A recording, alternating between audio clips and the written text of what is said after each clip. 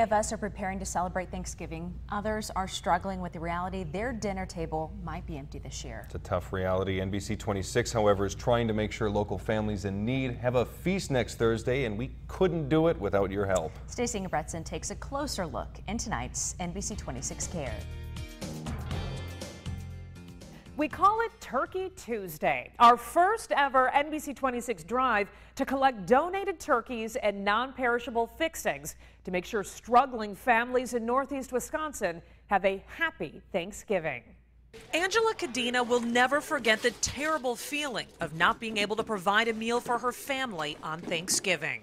I have four children, and I remember um, losing my job and just being on really hard times. Roger Nelson of Green Bay can relate. I'm 80 years old, and it was during the war that I grew up. We didn't have nothing to eat. We had green apples. That difficult childhood compelled Roger to donate to NBC 26's Turkey Tuesday. Our morning crew broadcasting live from Festival of Foods in De Pere before sunrise. And we're going to try and fill this truck. Our NBC 26 team taking your donations all day long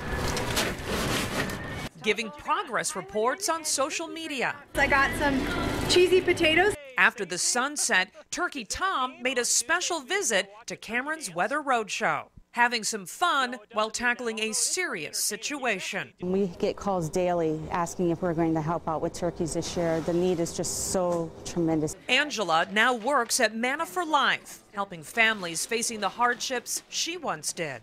Today, she helped NBC 26 unload the Turkey Tuesday donations. Looks good. That's a lot of turkeys in there. More than I can lift. An impressive haul.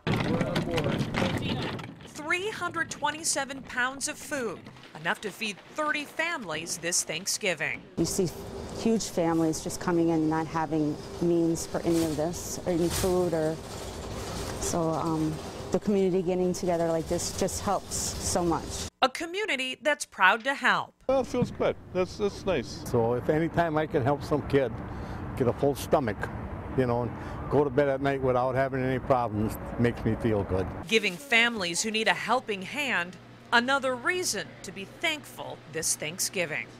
Manna for Life expects to feed 400 families on Thanksgiving. That's nearly double the number they normally serve each week. NBC 26 would like to thank you for your donations and Festival Foods for helping make Turkey Tuesday a huge success. Keeping you connected, Stacey Engebretson, NBC 26.